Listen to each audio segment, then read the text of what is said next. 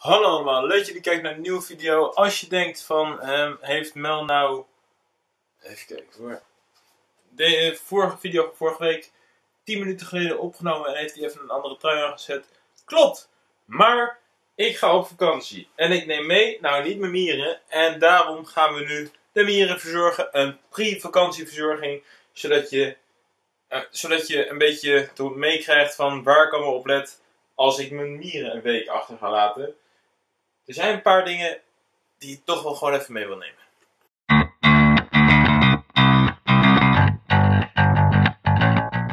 Natuurlijk, als we gaan verzorgen, beginnen we bij de voederdieren. Um, daar uh, dubia's, hier redrunners. En ik heb hier zo wat vis.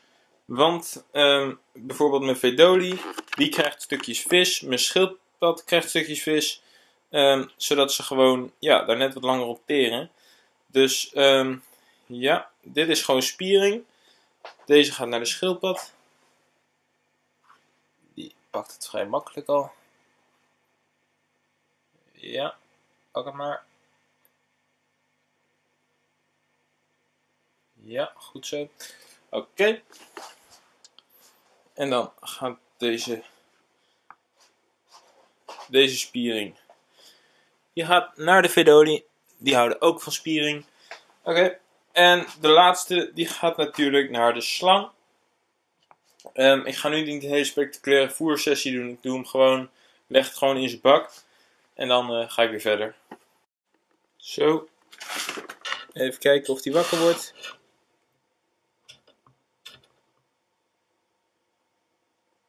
Pak hem dan.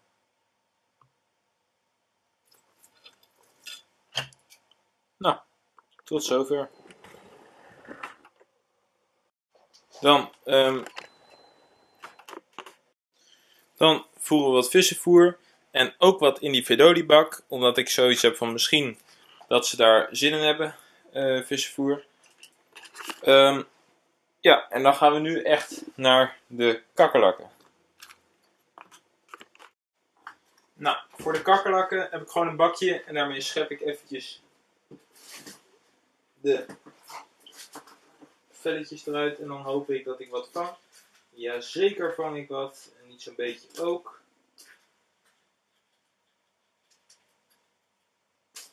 Zo. Nou.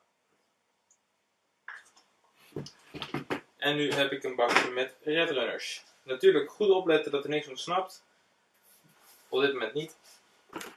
En dan kan ik hem zo laten zien. Hier, helemaal vol. Zo, en nu heb ik ze allemaal plat gedrukt. Dus nu kan ik ze voeren aan bijvoorbeeld mijn, uh, nou ja, deze gaat dan naar mijn mesher.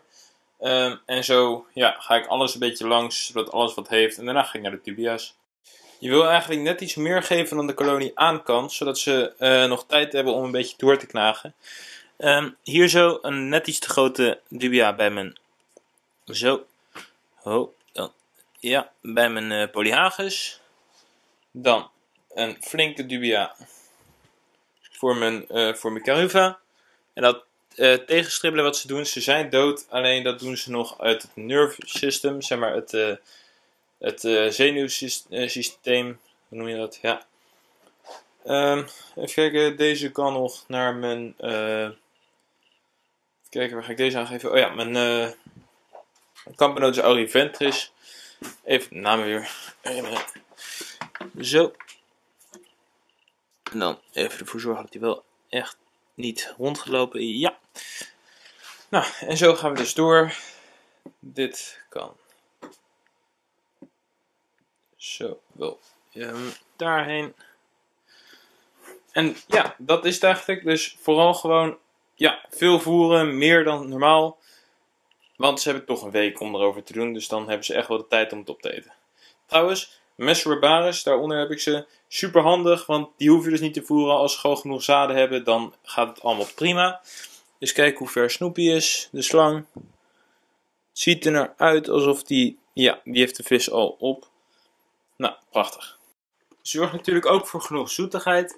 Nou heb ik honing en zo'n jelly cup gegeven. Dus ze zitten voorlopig wel goed, maar let wel op dat je mieren uh, voldoende zoetigheid hebben. Is natuurlijk ook belangrijk om de voedseldieren zelf te verzorgen. Ik heb hier twee aardappels en die gaan nu zo de dubia-bak in.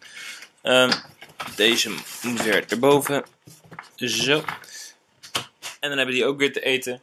En dan is eigenlijk het enige wat we nog moeten doen de anti-uitbraak. Als je zo'n grote kolonie hebt als mijn Verdoli-kolonie, dan wil je natuurlijk niet dat ze ontsnappen. Nou doe ik regelmatig de anti-uitbraak, maar altijd voordat ik op vakantie ga, heb ik dit spuitbusje hier en spuit ik eventjes alle randen zo onder. Um, dit, hier zit gewoon olijfolie in. Uh, dat gebruik ik gewoon, is lekker goedkoop als, als anti-uitbraak. Maar dan spuit ik dus even alle randen onder. Um, en op die manier ja, zorg ik er in ieder geval voor dat de uh, anti-uitbraak vernieuwd is. En dan hoop ik dat dat genoeg is totdat ik terug ben. Want meer kan ik eigenlijk ook niet echt doen. Dan ben ik nu ready om met vakantie te gaan. Ik hoop dat jullie deze video leuk vonden. Volgende week heb ik een zieke video als het goed is. Um, dus abonneer je snel hier zo. Hier zo zien we twee eerdere video's die waarschijnlijk minder leuk waren. Maar hey, ik kijk zelf sowieso mijn video's niet. Um, en uh, voor nu toe, laters.